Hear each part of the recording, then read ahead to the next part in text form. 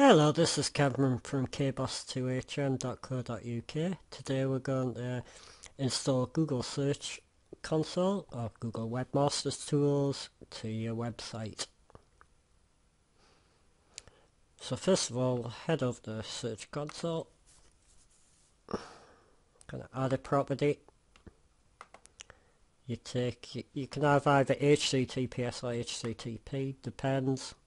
If you're using HTTPS, obviously put HTTPS in there. If you're using still HTTP, don't put the S on.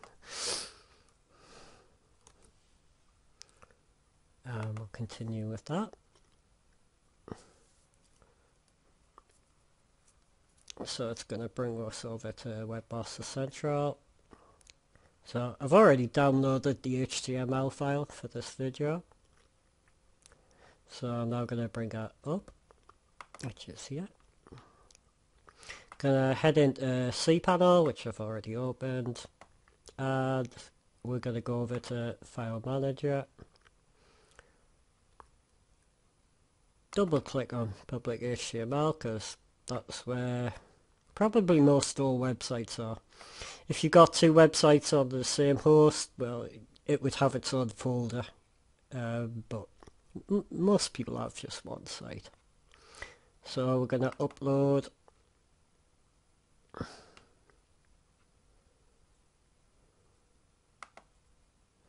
And we're just going to simply put that in there.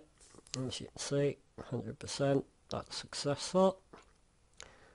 So now let's head back over to Webmaster Central First of all make sure that the actual file went through and it's in the correct place. So there we go, it loads up no problem at all.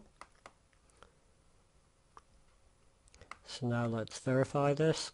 So I'm not a robot.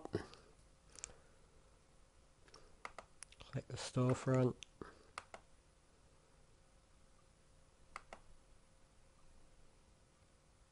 And then let's verify. As you can see now it's fully in and it's working. So now let's actually go into uh, Webmaster Tools itself because I find this is easier.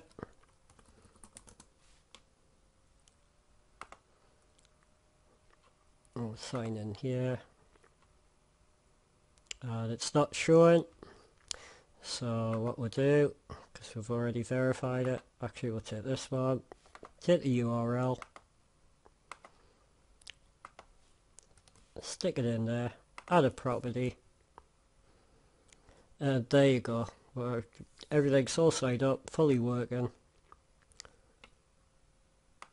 and it's ready to go. It will take maybe a day, maybe two days, three days, just for the data to come in. But don't worry, as long as you can see your website here, like now, it's worked. Thanks for listening. Um, have a great day.